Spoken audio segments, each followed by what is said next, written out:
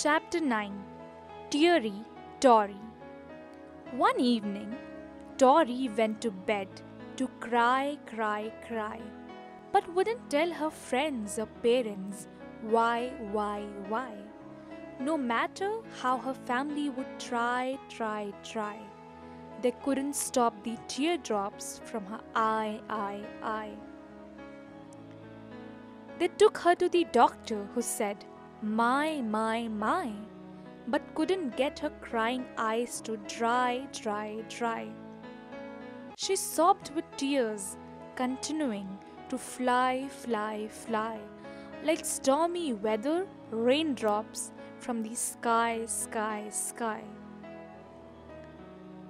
But still, she wouldn't speak, for she was shy, shy, shy. The days and weeks and months and years went by, by, by. Until the day that Tori knew she would die, die, die, she took a breath and heaved a weary sigh, sigh, sigh, and said, I'll tell you why I'm sad, and I, I, I have never done a thing except to cry, cry, cry. You see, I ate a piece of cherry pie, pie, pie.